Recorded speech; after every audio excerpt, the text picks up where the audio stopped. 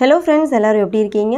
இன்றைக்கி நம்ம வீடியோவில் ரொம்ப ரொம்ப டேஸ்டியான மோஸ்ட்லி எல்லாருக்குமே ரொம்பவே ஃபேவரட்டான எண்ணெய் கத்திரிக்காய் புளிக்குழம்பு எப்படி ரெடி பண்ணுறது அப்படின்னு சொல்லிட்டு தான் உங்கள் கூட நான் ஷேர் பண்ண போகிறேன் வீடியோக்குள்ளே போகிறதுக்கு முன்னாடி நீங்கள் நம்ம சேனலுக்கு புதுசாக இருந்தீங்க அப்படின்னா மறக்காமல் சேனலை சப்ஸ்கிரைப் பண்ணிக்கோங்க.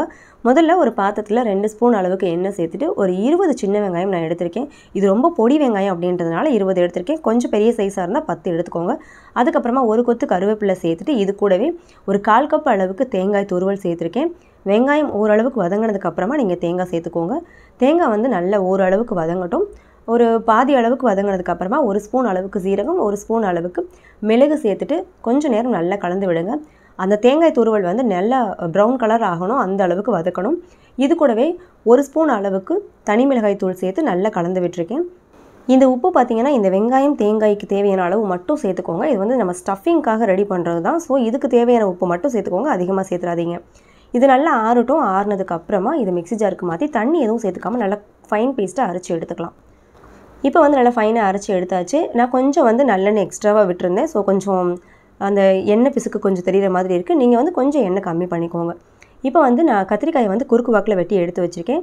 இதை வந்து நம்ம ஸ்டஃபிங்க்கு ஃபுல்லாக வந்து உள்ளே ஸ்டஃப் பண்ணி எடுத்துடலாம். முடிஞ்ச அளவு கத்திரிக்காய் வந்து இன்றைக்கி வாங்கின ஃப்ரெஷ்ஷான கத்திரிக்காயை யூஸ் பண்ணுங்கள் அது கொஞ்சம் நல்லாயிருக்கும் ஸோ எல்லா கத்திரிக்காயிலையும் ஃபுல்லாக வந்து ஸ்டஃப் பண்ணி முடிச்சிடுங்க.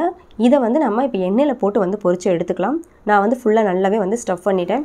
இப்போ வந்து ஒரு பாத்திரத்தில் மூணு ஸ்பூன் அளவுக்கு எண்ணெய் சேர்த்துருக்கேன். நாம் ஏற்கனவே ஸ்டஃப் பண்ணி வச்சுருக்க அந்த கத்திரிக்காயை வந்து இதில் வச்சுக்கலாம். அடுப்பு வந்து கண்டிப்பாக லோ ஃப்ளேம்லேயே இருக்கட்டும். கொஞ்சம் கொஞ்சமாக வந்து ஒவ்வொரு சைடாக குக் ஆகட்டும். நல்லா குக் ஆகணும். இந்த மாதிரி இடுக்கி வச்சு நீங்கள் மெதுவாக திருப்பி விடுங்க. அடிக்கடி திருப்பிக்கிட்டே இருந்தோம் அப்படின்னா உள்ளே இருக்க ஸ்டஃபிங் எல்லாமே வெளியில் வர ஆரம்பிச்சிடும் ஸோ ஒரு சைடு நல்லா குக் ஆகட்டும். ஒரு ஒரு நிமிஷம் போல் விட்டுருங்க. அதுக்கப்புறமா திருப்பி விடுங்க. அந்த மாதிரி திருப்பினீங்கன்னா அதிகமாக மசாலா உதிராமல் இருக்கும். மசாலா வந்து அதிகமாக உருந்துட்டாலும் ஒன்றும் பிரச்சனை இல்லை. இது அப்படியே நம்ம வந்து குழம்புல யூஸ் பண்ணிக்கலாம். குழம்பு நீங்கள் வச்சதுக்கப்புறமா அந்த குழம்பு கூட வந்து இதை நீங்கள் ஆட் பண்ணிக்கிட்டீங்க அப்படின்னாலும் ஃப்ளேவர் வந்து ரொம்பவே நல்லாயிருக்கும் இப்போ வந்து பார்த்திங்கன்னா நான் பெரிய எலுமிச்சம்பழம் அளவுக்கு புளி வந்து ஊற வச்சுருந்தேன். ஸோ இந்த அளவுக்கு எனக்கு கிடச்சிருக்கு. இதை நல்லா வந்து கரைச்சி எடுத்துக்கோங்க. பார்க்குறதுக்கு வந்து புளி நம்ம அதிகமாக சேர்க்குற மாதிரி தெரியும். பட் இதுதான் வந்து எண்ணெய் கத்திரிக்காய் புளி குழம்புக்கு தேவையான கன்சிஸ்டன்சியை வந்து கரெக்டாக கொடுக்கும். நம்ம நார்மலாக புளிக்குழம்பு வைக்கும்போது வந்து கொஞ்சம் கம்மியாக சேர்த்துப்போம். பட் எண்ணெய் கத்திரிக்காய் புளிக்குழம்பு செய்யும்போது கொஞ்சம் எக்ஸ்ட்ராவாக வந்து புளி இருக்க மாதிரி பார்த்துக்கோங்க அந்த புளிப்பு தன்மை நமக்கு தெரியணும். அந்த மாதிரி சேர்த்துக்கோங்க. இதில் வந்து குழம்புக்கு தேவையான அளவு தண்ணி சேர்த்துக்கலாம். ரொம்ப அதிகமாக தண்ணி வேணால் ஒரு கப் போதும். இதில் வந்து குழம்பு மிளகாய் தூள் ஒன்றரை ஸ்பூனும் தேவையான அளவு உப்பும் சேர்த்துருக்கேன். ஸ்டஃபிங் பண்ணது போக மீதி இருக்க மசாலாவை இது கூடவே வந்து சேர்த்துட்டு நல்லா வந்து கரைச்சி விட்டுக்கலாம். குழம்பு மிளகாய் தூள் வந்து வீட்டில் இல்லைன்னா தனி மிளகாய் தூளும் மல்லித்தூளும் நீங்கள் இது கூட சேர்த்துக்கலாம். இப்போ வந்து குழம்பு வைக்க ஆரம்பிக்கலாம். நல்லெண்ணெய் வந்து ஒரு மூணு ஸ்பூன் அளவுக்கு நான் சேர்த்துருக்கேன். இது கூட வந்து ஒரு ஸ்பூன் கடுகு உளுத்தம் பருப்பு ஒரு ஸ்பூன் அளவுக்கு வெந்தயம் சேர்த்துட்டு நல்லா வந்து கலர் சேஞ்ச் ஆகட்டும். ஒரு கொத்து அளவுக்கு கருவேப்பிலை சேர்த்துட்டு ஒரு பதினஞ்சு அளவுக்கு சின்ன வெங்காயம் எடுத்து நல்லா வந்து உரலில் இடிச்சுக்கிட்டேன். இடித்து சேர்த்துக்கிறப்ப புளிக்குழம்போட டேஸ்ட் வந்து ரொம்ப நல்லாயிருக்கும் எனக்கு வந்து பர்சனலாக இது பிடிக்கும். அதனால் இடித்து சேர்த்துருக்கேன். இது கூடவே ஒரு அஞ்சு பல் பூண்டும் தட்டி சேர்த்துருக்கேன். இந்த ஸ்டேஜில் இந்த வெங்காயம் பூண்டு போட்டிருக்கோம் பார்த்தீங்களா இதுக்கு மட்டும் தேவையான அளவு உப்பு சேர்த்துக்கோங்க. இது கூட வந்து ரெண்டே ரெண்டு தக்காளி பழம் நான் சேர்த்துருக்கேன். சின்ன சைஸ் தக்காளி பழம்லாம் ரெண்டு எடுத்திருக்கேன். பெரிய சைஸாக இருந்தால் நீங்கள் ஒரே ஒரு தக்காளி பழம் எடுத்துக்கோங்க. நான் சேர்த்துக்கிட்டது நாட்டு தக்காளி பழம். இது கூட வந்து ஒரு பிஞ்சு அளவுக்கு மஞ்சள் தூள் சேர்த்து நல்லா கலந்து விட்டுக்கலாம். இந்த தக்காளி வந்து நல்லா வந்து சாஃப்டாக குக் ஆகணும். இந்த அளவுக்கு தக்காளி தூக்கு பதம் இருக்கணும் பார்க்கறதுக்கு. இந்த அளவுக்கு குக் ஆனதுக்கப்புறமா காஷ்மீரி மிளகாய் தூள் ஒரு ஸ்பூனும் அரை ஸ்பூன் அளவுக்கு மல்லித்தூளும் நான் சேர்த்துருக்கேன்.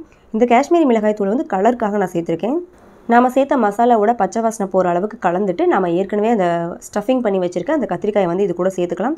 கத்திரிக்காய் பார்த்திங்கன்னா ஆல்மோஸ்ட் குக் ஆகிருக்கும் அதனால் நீங்கள் ரொம்ப நேரம் குக் பண்ணுற அவசியம் இருக்காது. அதனால் நீங்கள் வந்து தண்ணி கொஞ்சம் கம்மியாக சேர்த்தே குழம்பு வைங்க. இந்த அளவுக்கே சரியாக இருக்கும்.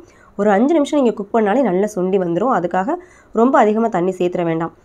உப்பு வந்து நம்ம ஏற்கனவே இதில் சேர்த்து கரைச்சிருக்கோன்றதுனால மறுபடியும் உப்பு சேர்க்க அவசியம் இருக்காது. அஞ்சு நிமிஷத்தில் பார்த்தீங்கன்னா சூப்பராக குக் ஆயிரும். ஃபுல்லாக வந்து குக் ஆனதுக்கப்புறமா ஃப்ரெஷ்ஷான கருவேப்பிலை இலை தூவி விட்டு ஒரு ரெண்டு நிமிஷம் வந்து லோ ஃப்ளேமில் வச்சு மூடி போட்டு வச்சுருங்க. நல்ல எண்ணெய் பிரிஞ்சு வந்ததுக்கப்புறமா அடுப்பை ஆஃப் பண்ணிவிட்டு ஒரு பத்து நிமிஷம் கழித்து நீங்கள் சூடான சாதத்தோடு இதை சர்வ் பண்ணுங்கள் ரொம்ப ரொம்ப டேஸ்ட்டாக இருக்கும். நீங்கள் வந்து கடைகளில் சாப்பிட்ற அதே டேஸ்ட்டில் இது இருக்கும். நீங்களும் இதே போல் உங்கள் வீட்டில் ட்ரை பண்ணி பார்த்துட்டு டேஸ்ட் எப்படி இருந்தது அப்படின்னு சொல்லிட்டு மறக்காமல் கமெண்ட் பண்ணுங்கள் இந்த வீடியோ உங்களுக்கு பிடிச்சிருந்ததுன்னா நம்ம சேனலை சப்ஸ்கிரைப் பண்ணிவிட்டு அப்படியே ஃப்ரெண்ட்ஸ் அண்ட் ஃபேமிலிக்கும் ஷேர் பண்ணிடுங்க தேங்க்ஸ் ஃபார் வாட்சிங்